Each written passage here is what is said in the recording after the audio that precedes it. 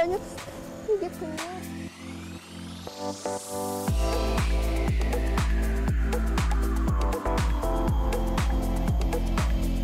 Berwisata edukasi bisa kita dapatkan di mana saja, termasuk di salah satu daerah yang memiliki kawasan hutan paling luas di Indonesia. Tepatnya ada di Kutai Kartanegara, dan sekarang saya sedang berada di Borneo Orangutan Survival Foundation. Saya akan melihat seperti apa bayi-bayi orangutan ini diselamatkan dan nantinya akan dilepaskan ke alam bebas.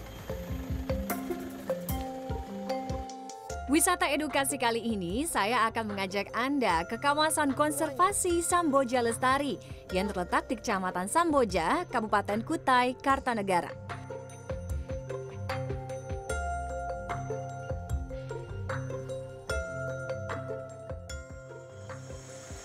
Di sini orang hutan yang kehilangan habitatnya karena penebangan hutan atau kehilangan induk karena perburuan ilegal dirawat dan diberi perlindungan.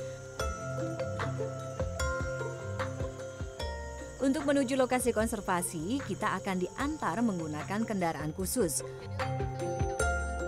Pengunjung umum tidak diperbolehkan untuk berinteraksi langsung dengan primata langka ini. Karena kesamaan DNA orang utan dengan manusia mencapai 97 persen, dikhawatirkan pengunjung akan menularkan atau tertular penyakit dari orang utan. Nah, jika ingin berkontribusi untuk merawat orang utan, kita bisa datang saat jam makan mereka, yaitu pukul 9 pagi atau pukul 3 sore. Ini ruangan penyimpanan bahan makanan ya Mbak ya? Uh, iya, juga gudang enrichment namanya. Gudang and Gudang enrichment yang tadi kita lihat ada makanan tambahan yang di bambu sama batang kayu itu kan. Itu makanan tambahannya. Terus ini makanan pokok wajib deh. ini makanan oh, orang hutan itu makannya buah-buahan Uh, buah-buahan. gitu ya? Kadang kita juga kasih sayuran kayak gini, Mbak. Mhm. Daun kates, daun kangkung, wortel juga Iya. kita kasih tomat gitu. Ada 13 pulau yang dibuat sebagai tempat orang utan yang tidak bisa dilepas liarkan ke hutan akibat penanganan yang tidak tepat di tempat sebelum mereka masuk konservasi. Sekitar 30 orang utan yang mendiami pulau-pulau ini tidak mampu mencari makan sendiri. Mereka diberi makan oleh teknisi khusus. di pulau ini ada dua orang utan yang tinggal di sini ya mas ya. Iya. dan kalau jam makan siang mereka udah tahu nih. Kalau teknisinya udah datang mereka udah tahu langsung berkumpul gitu mereka di sini. Karena ada dua satu ember ini untuk makanan mereka berdua. Satu ekor bisa dikasih makan 5 kilo. Tuh oke cara ngasih makannya dilempar dan mereka nanti akan mengutin langsung mereka tahu tuh saya mau coba ngasih makan buat Ani dan juga Rembo.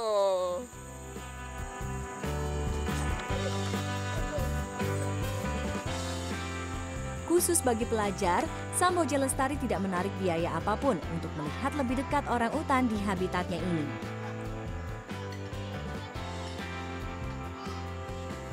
Itu adalah orang utan jantan. Kalau jam segini siang-siang itu tengah hari biasanya dia lagi istirahat, tapi tidak mengurangi semangat atau antusias dari masyarakat atau wisatawan untuk melihat kegiatan atau aktivitas dari orang utan. Nah, kamu tahu nggak kenapa orang utan itu melestarikan lingkungan? Kenapa? Coba. Eh, jadi orang hutan itu makan buah-buahan. Nah, terus? Baru buah-buahannya itu dia eh, bijinya ditinggalin. Mm-mm. Baru nanti dia mengeluarkan feses, Mhm. baru fesesnya tumbuh di tanah di tanah jadi subur. Wow. Di kawasan hutan sekunder seluas 1.800 hektar ini, terdapat berbagai jenis perawatan dan edukasi bagi orang utan, seperti mengajarkan bangun sarang di atas pohon dan tempat perawatan bayi orang utan. Di sini ada sekitar 142 orang utan yang dirawat oleh tenaga ahli primata, ekologi, dan berbagai bidang keahlian lain. Tidak hanya merawat orang utan, pusat rehabilitasi ini juga merawat 52 ekor beruang madu.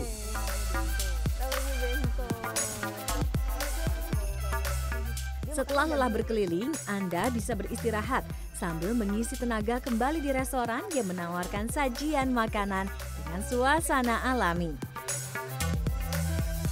Nah, sambil nungguin jam makan siang dari orang utan dan juga beruang madu yang ada di sini, kita juga menikmati makan siang yang ada di Samboja Lodge dan enaknya di sini selain makanannya lengkap ya, kita disuguhi dengan pemandangan alam yang bagus banget, sejuk dan kayaknya suasana adem kayak gini bisa menambah selera makan ya.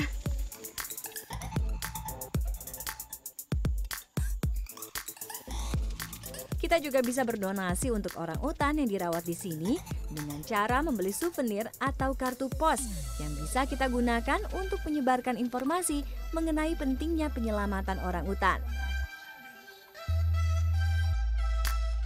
Peran orang utan dalam proses penghijauan hutan akan terwujud jika orang utan yang telah terlatih ini dilepas liarkan kembali ke habitat mereka. Setiap tahunnya, Samboja Lestari melepas liarkan orang utan yang telah lulus dari sekolah hutan dan dianggap telah mampu bertahan hidup sendiri. Orang utan yang telah lulus biasanya direlokasi ke hutan Kejesewen yang dalam bahasa Dayak berarti hutan untuk orang utan.